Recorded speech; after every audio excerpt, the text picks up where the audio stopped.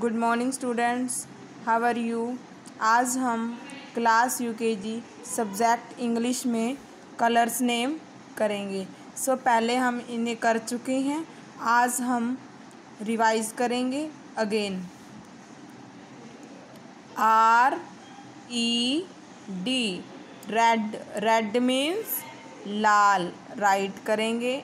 R E D red red means Lal. Next B L U E blue blue means Neela. B L U E blue blue means Neela. Next B L A C K black black means काला B L A C K black black means काला. Next P I N K pink pink means गुलाबी. P I N K pink pink means गुलाबी. G R double E N green green means हरा. G R double E N green green means हरा.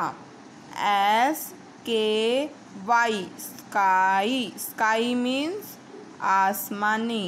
S K Y sky sky means आसमानी।